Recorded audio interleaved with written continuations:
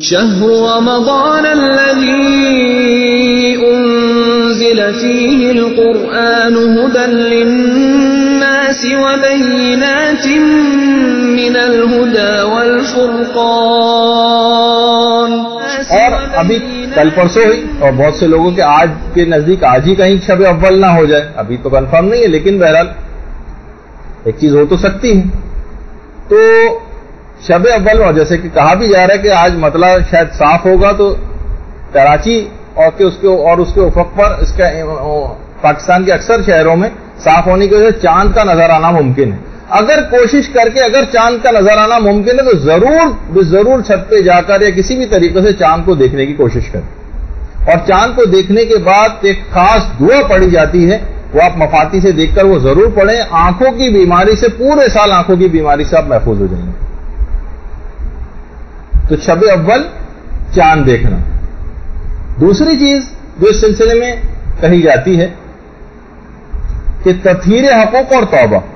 اگر کسی کے تو آپ دیکھیں کسی کے کوئی چیزیں آپ کے پاس موجود ہیں، آپ نے کسی سے لے کر آئی ہوئی ہیں، آپ نے واپس نہیں کیا اب تک کھنگالیں چیزیں، کسی کو کوئی حق آپ کے ذمے نہ ہو۔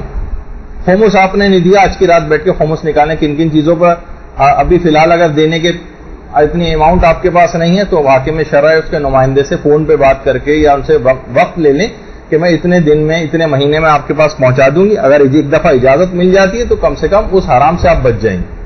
تو تطہیر حقوق اور توبہ ایک خصوصی توبہ بھی آج کریں کہ پروردگار مہینہ شروع ہو رہا ہے، میں توبہ سے اس مہینے کا آغاز کرتی ہوں۔ تاکہ اب ذمے کوئی گناہ نہ ہو، سچے دل سے مسمم ارادہ کر لیں کہ اب ماہ مبارک میں تو انشاءاللہ ہوگا نہیں اور اس کے بعد بھی میں اپنی اس توبہ کو قائم رکھوں گی جہاں تک میرے لیے ممکن ہو سکے گا۔ اول ماہ کا غسل، اس مہینے کا وہ بھی وہ بھی آپ کریں۔ غسل توبہ کی نیت بھی اس میں شامل کر لیں اور اسی ایک ہی غسل کے اندر غسل زیارت امام حسین علیہ السلام کی نیت بھی اسی میں کر لیں۔